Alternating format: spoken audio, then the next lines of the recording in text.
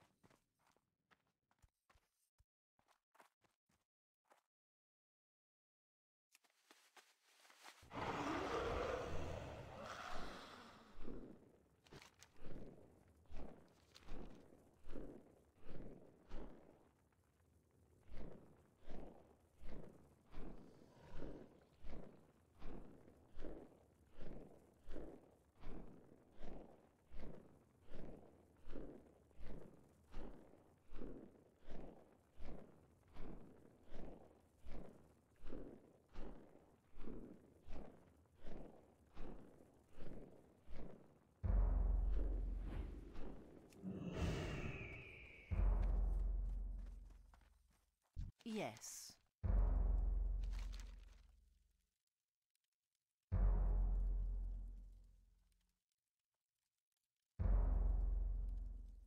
Hold your head